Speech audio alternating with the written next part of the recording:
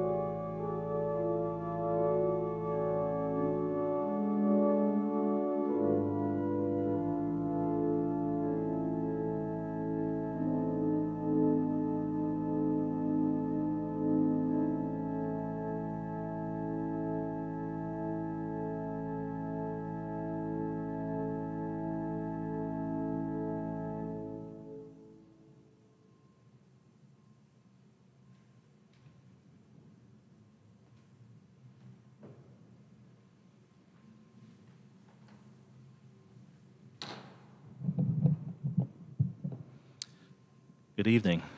Thank you so much for joining us.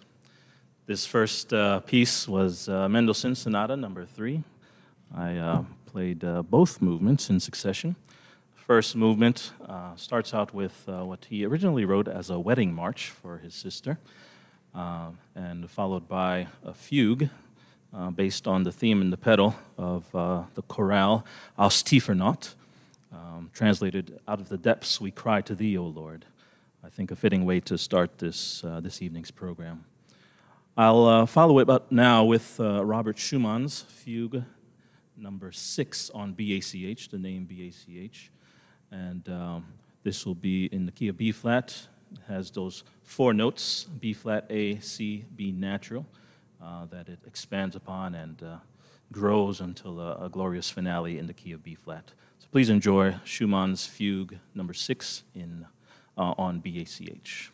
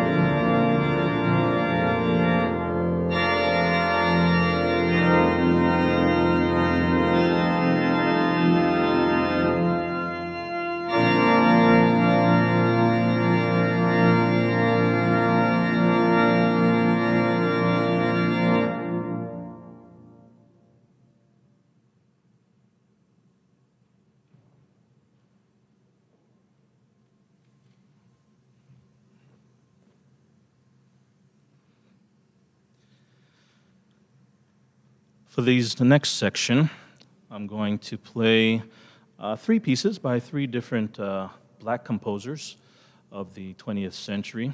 Uh, this first piece is based on the spiritual By and By, written by William Farley Smith, and uh, I'll follow that up with uh, an arrangement by uh, Fela Sowande, who was a Nigerian-born composer.